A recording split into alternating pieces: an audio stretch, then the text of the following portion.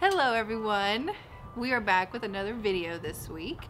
We've been doing the series on barriers to spiritual growth and we have one more kind of personal barrier to talk about before we start part two of barriers to spiritual growth next week, which will kind of be about the church. So mm-hmm. this week though, we had a response from a young woman who was talking about parenthood. Yep. And that parenthood Yeah. can be a barrier to spiritual growth. It can be a whopper. It can be a whopper. Yeah. So we want to touch on that today and have a conversation. Here on the video today is mom, Becky Holton, also known as Becky Holton. She's going to be helping out the video today too because I don't have children yet, so We're working on that. knew that was gonna come. I'm excited about this video too to kind of get some maybe advice and hear some thoughts on this subject too. You don't have the answers? I thought you did. I don't have any. We really appreciate the response. This was a mm-hmm. very unique response. Tell me, Mom, what you think about parenthood and, you know, how that can be a barrier to spiritual growth and how difficult it is, and just give me Mhm. your thoughts on that. well, I really appreciated whoever whoever it was that made that response because I think it's very legitimate. Yeah, I Um, do too. Because you know, when you begin to have children, um, your timetable is just it's pretty much up for grabs every, every day. Different every day. Oh, you never know. and just about the time you get kind of a little schedule going and you have that little bit of maybe quiet time in the morning, you know, you uh, the the stomach flu goes through your family and you're cleaning throw up up all night long and you know, it's all That's you true. do to just crawl to the coffee coffee pot the next morning, let alone having a little bit of quiet time. Right. So it is challenging. Um, Yeah. I think I think it's difficult. But on the other hand, I'm not sure that it's a I would call it a barrier. Sometimes difficulties can be really good things. What do you, what do you mean by that? Especially in terms of yeah. parenting.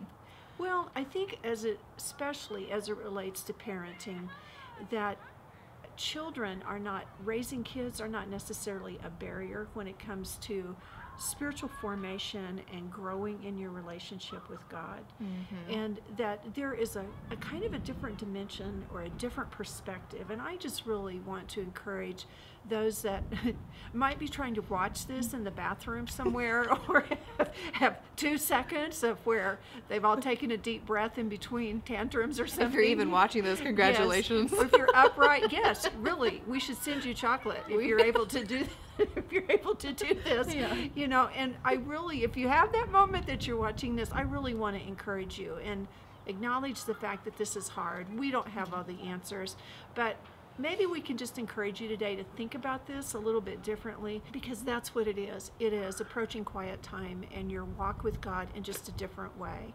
And and what I mean by that, you know, Suze, I remember a time, um, especially as you kids were little. One time in particular, I remember when your brother was really sick and ICU and all that kind of stuff. I remember what your dad and I went through with that little boy and how what we did to get help for him, how we were with him. We never left his side. And I'm here to tell you, I had to stand up to hospital administrators to make sure that happened. Yeah. I mean, you I was there and with that child around the clock and so was your dad and I realized in that moment that I was an imperfect parent and I would do anything to help that little boy be okay and be healthy. And it dawned on me that my Heavenly Father, which is a perfect parent, feels that way about me. Hmm. And that opened a door That's for really me to think about my relationship with God and that I didn't have to do it all perfectly Yeah. and that he wa he was there helping me and guiding me even when felt like things were going really badly. He was Mhm. still there and he is the perfect father and he's going to help me and help prepare the way for me as I am growing closer to him. Mhm. You know, I remember my, pr- you know, that was just huge. That was a spiritual leap for me. Now, Yeah. it wasn't, it didn't come from sitting down and studying the Bible, even though I'm not against that. In fact, you've got to have that too. Right. But I think God God opens doors for you to develop a closer walk with Him when you're raising kids that may look different than what you have thought it was going to, to be like. You know, things like that. Prayer took on a different dimension. Which I me. like because, Yeah.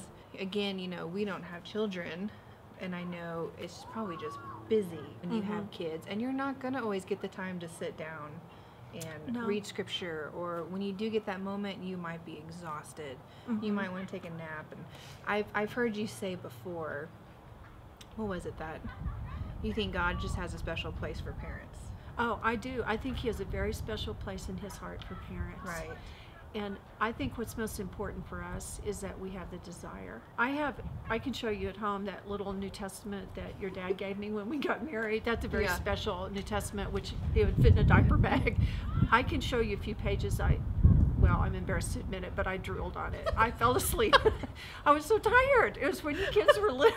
But you know what? I just think God just looked down on me and thought, bless her heart, she's trying, she wants it, and I'm going to help her. Right. And in those moments, I think God teaches you the spiritual training your dad and I tried to do with you all at home.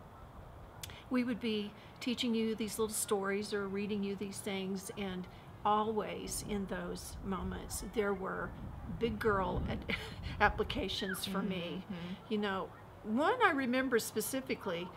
Oh, it had been one of those mornings, and every one of you had decided to do something completely off chart, you know. And I was about to have some kind of an, the top of my head blow off or something, and I put on that record, which really tells you all how old I am now, The record. about the fruits of the spirit. Oh. Oh my word! And that girl starts chirping that song about self-control. Self-control. And I'm It's the like, very best way to "Oh, go." Yes, I needed to hear that. Although at that moment it wasn't the very best way that I had gone, but I realized that through all of that, those lessons I was trying to teach you, God was adapting it and teaching me in my own life and just Mhm. deepening it for me and going on down different beauty. Mhm. I never stopped to see beauty through the eyes of a child and the wonder and where God is in those places. It was just Mhm. incredible. So, Yeah. Well, I think that's interesting you bring that up. You know, even talking about, you know, self control and mhm. those are kind of behavior characteristics. Yes. characteristics. yes. And sometimes I wonder if kids don't necessarily remember what you did as parents, Mhm. but they remember who you are Yeah. as parents. Then they remember your character. Right. And- I would hope. I would hope Yeah. you remembered I I, remember your some- character. there were, I do. there were some moments. Well, and what I hoped, But just how that works, Yeah. even how you're still getting some of that fulfillment even when you're parenting. absolutely, I and think kids see that. yeah, and and I think you know you're modeling, and sometimes you have to apologize. Yeah. And Yeah. but even as the kids get older and they do get up early and they maybe interrupt your quiet time, you can, you know, I remember you sometimes I would explain to you I was talking to God or reading the Bible and you could bring your Bible books in and Mhm. you would bring your little books in and sit there and you know, we might have 10 or 15 minutes before some kind of an explosion would happen or someone would announce it. I was supposed to make brownies for the entire school that day and they'd forgotten to tell me. I mean, but you have those moments and God blesses them. And, you know, we've been talking about all, this whole series you and Dad have talked about that our responsibility is to show up and to have Right. the desire and that it is a gift from God to help us develop that relationship and that especially applies to children Right. when you're raising children but it is such a blessing that he sometimes uses those moments i think i grew up more as a mom as a Mhm. person raising kids and and that's really important because you've got to get that layered in there you've got to have that foundation especially when your kids reach the teenage years because those are hard Yeah. those are hard in I wasn't hard. My my brothers are terrible. I was a piece of cake. And moving on. no, you were good. But no, we you know, you have, moments. well, yeah, we all have moments, Yeah. and and I think even in those difficult times with teenagers, I was reminded when we had those headbutting sessions that every parent has with their kids, you know, Yeah. and the wondering what were you thinking when you made that decision in the quiet of the night and in my prayer time, I realized that oftentimes I had been a rebellious teenager with God myself, Mhm. and that required me to be much more humble and gracious and strong, you know, when, when dealing Right. with you all. But you could speak to that really better than I can because you and Bryce have been working for many years with teenagers. Um, you may have some comments that you can add to that of observations that you have about Mhm. the importance of spiritual health and spiritual stamina Yeah. and a relationship with God when you're with your kids in those those Mhm. years where they're trying to figure out what in the dipsy doodle there's going Oh, on. yeah, it's that's very important. Yeah. And spiritual health, I think, is very important, especially when your kids are teenagers. And it's it, it's been a blessing having to kind of work with teens because I've got to see how some parents Mhm. handle that, Yeah. and that's been really neat to watch that. You know, parents who really invest in their children when they're little, but then they don't stop investing once they're teens. Right. They keep investing, and they they keep um, the conversations open to where they allow their teens to ask questions Mhm. and you know Yeah. that that's been really huge i think for some kids and and just Mhm. having spiritual conversations in the household Yes. i think It's essential. is so important yeah. Yeah. um, so important i know we did that a lot growing up and i've got to see other parents who have done that with their teens too Mhm. just to make sure that they're having spiritual conversations one thing that i thought was neat too is that some parents were very intentional about not having such crazy schedules and being busy, but making sure they were doing just a few things and doing it really well. And one being their spiritual lives, Yes. because they knew that their teenagers or kids saw what they valued. Mm-hmm. Um, and you could really see that Mhm. overflow into their children. Mm-hmm. So some who really valued their spiritual time and their spiritual health That's um, very good. Yeah. and did that really well. The kids, I mean, really picked up on it. Mm-hmm. Um, which We that was neat and something that Right. Bryce and I really took away. And We were talking with some parents the other day with teenage kids, three of them at home. God love their hearts. and they were talking about the conversations they were trying to have. They were talking Yeah. about the things that they were trying to do to help develop that desire to have quiet time with the Lord in their kids' lives. And I right, was really, really touched by how they were trying to manage their time better because really that's what it's about, with the exception of the small children that who are just they they just need a lot of time because they're they don't have the ability to do things for themselves with that exception but god even works in that.